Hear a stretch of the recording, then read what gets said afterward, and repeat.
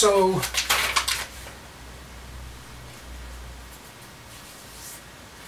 okay. So I've probably said on a few occasions here and there, okay, uh, that I've spent an extraordinary amount of time on the streets and stuff. So here's one little story, and um, so a friend and I, we were up to no good, uh, but we were always good guys and stuff like that. And um, uh, I, I, scouts honor, you know, I. Um, so yeah, we, we were good guys and stuff like that. Doesn't mean that we were perfect or whatever, but we definitely weren't bad guys. But still, you know, so um, uh, I was a street artist, and that's a really, you know, very nice way of, of putting things and stuff like that. I definitely wasn't on the drug side, I definitely wasn't on the gang drug dealership side, but so much of that went hand in hand, and the broader or the larger amount of our crew, of course, that's, that's just reality, right? But, um, so there were my friend and I, you know, up to no good, causing our trouble and stuff like that, doing what we thought was, you know, great art and stuff like that, or, and and um, so these two guys come, and and we've always lived. I've always lived on the on the borderline, and and to some people, it, relatively speaking, they may already think that they're bad neighborhoods, but I've always lived at least on the borderline of you know okay neighborhoods and bad neighborhoods, or what would be stereotyped or whatever as bad neighborhoods, or poor neighborhoods and stuff like that, uh, where where we didn't make a family didn't make a lot of money, or and and a lot of times that one of the key factors, at least back then, of the reason why was because uh, parents were single and stuff like that, and somebody's mom or somebody's dad wasn't there for whatever reason and stuff. So uh, yeah, so it gets a little bit tough. You only had that one that one income. And at any time in, in any generation, I mean, obviously having two incomes is better than having one income, right? Uh, so, um, so we were in the bad neighborhood and stuff, uh, uh, and, and um, these uh, middle of the night, and these two kids uh, catch us by surprise. I said because we're all caught up in in our art and and stuff, and um, uh, the thing that we have. We have a known thing in, among us, of friends or whatever, is in trouble like that because we have no flexibility with the law. Okay, we run. Is any any any problem that we face, okay, that uh, well, one of the options is to run because there is no there's no legal side that could help us because we're already doing bad, or at least that's what you think when you're a kid, right? You're already doing bad, so there's no nobody you get nobody's going to be sympathetic for, your plight or whatever. All you have is yourself, and you're in somebody else's hood, and you're in somebody else's turf, and all that type of stuff like that. So anyway, we run a lot of times. Sometimes we don't. sometimes you don't run, but most of the time you run because you're just in a you're in a vulnerable state, right? You you have all the stuff on you as well and stuff, and you know. So where's this story going? It's as clear as that, uh, but it definitely pertains to what I was saying before, and you'll see.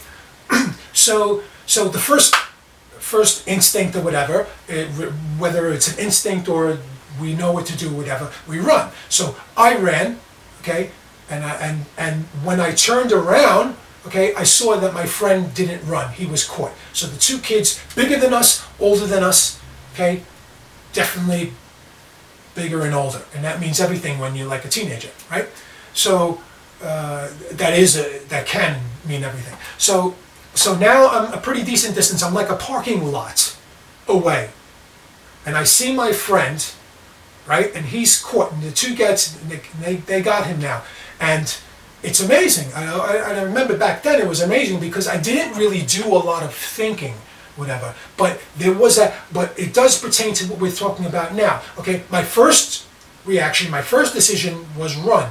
And I ran. I was clear. I was gone. They weren't chasing me. They didn't care. Okay? Now, the next moments after were also very much split second moments. Didn't have a lot of time. You know, I didn't have the, the- you know, it was all going down. They were now taking him, moving off of the avenue. It was the avenue, you know, here's the avenue, here's where we were. There's a parking lot here because it was like a little shopping, and but the, you can enter the parking lot from two different two different ways, from this avenue and from this perpendicular smaller street and stuff like that. All the federal housing is right here. You know what I mean? If you get my, if you, you know, I don't know. Older friends would would know from right, from the past. So so I ran thinking we would run across the parking lot right? So when I got to the parking lot, to the end of the parking lot, and this exit part over here, I turned around, I saw my friend here. Now they're walking, they're walking this way, and I'm like, I ran back. I don't know what the hell I was thinking. I had no game plan. You know what I mean? I didn't do anything when I got there. That was the most amazing thing. All I did was say, I guess, in the end, I said, well, hey, you know, you capture me too then. Did nothing. Didn't, I didn't even like stop meters or feet away and try to, you know, blah, blah, blah. I just ran straight up to them and I, I, I can't, it's really, like, the one thing I can't, I don't know what I said or what, whatever. I, yo, but the thing is, I guess, okay, I didn't leave my friend alone. Split second decisions, I went back. Uh, and this is what you're training for. This is at least if you believe that you can't train reflexes and you can't change, okay, or develop or improve on them or modify them, then what you can do is at least instill and and and and get comfortable with decisions after that the of the reflex, after that initial phase, right?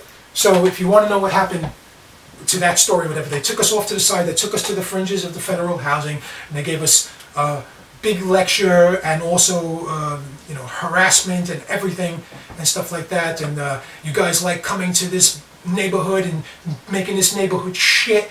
And the thing was it was our neighborhood. It was still part of our neighborhood and stuff like that. But the assumption the assumption because of you know because of what we looked like and, and stuff like that. So the assumption was that we were from somewhere else going, and I understood, we were from somewhere else going there because, because we had no respect for the poor area. So we were just causing trouble and doing shit in the poor area and stuff. And so they made it, they made it known. And the, uh, the bigger guy was lined up with me. They had lined us up, my friend and me, I never forget it. And uh, the bigger guy was lined up here, the smaller guy was lined up here. They said all their shit um, uh, there's things that I said back. I argued with them a little bit. Not too crazy, but I answered because they said some nasty stuff as well. They said some stuff that, that were, you know, they were judging and, and thinking who, who we were. And I made sure, okay, that regardless of what it looked like, when they said a couple of those things, okay, I made sure to say no, but that, that's not, that's not me. That's not true.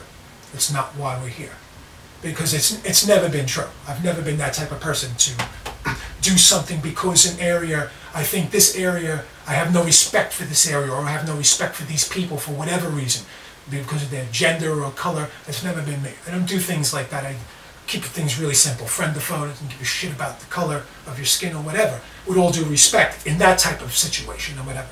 Okay. It's always been about, you know, friend the foe, danger, or are you sincere and cool and not threatening my life. Mm. So I made sure to deny those things and I was steadfast about them.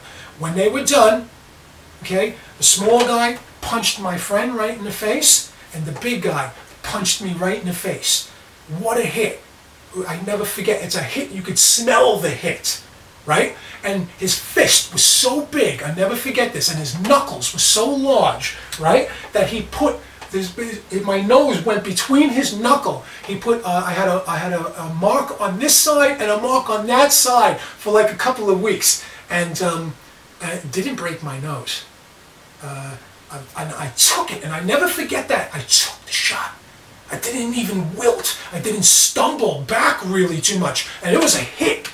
But I remember, I mean, I, I, probably just like that, but I wasn't, I wasn't like weak in the knees, about to like, you know, pass out type of thing. I took the hit.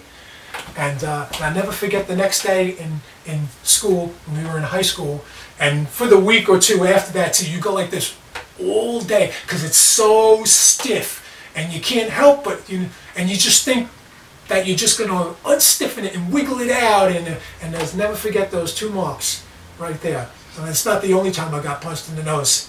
I got punched in the nose a lot, but um, so I never forget that. And um, they did some messed up things and stuff like that. They, they probably like you know if it was today, be all over the news. But you know we weren't entirely in the right as well. So and um, it is what it is and stuff like that.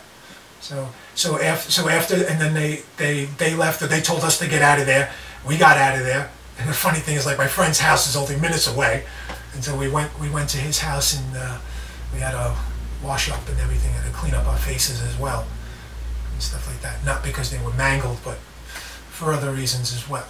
Our faces were different for a little while till we were able to, you know, scrub it off.